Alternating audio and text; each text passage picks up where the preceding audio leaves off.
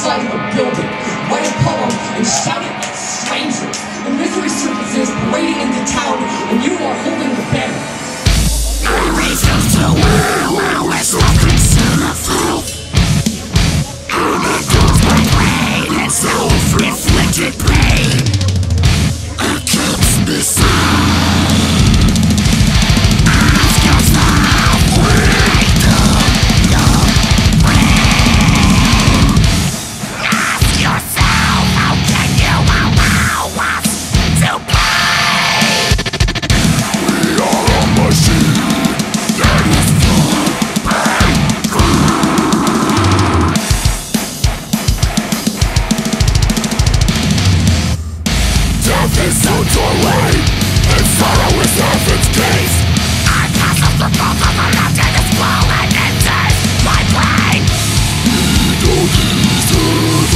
see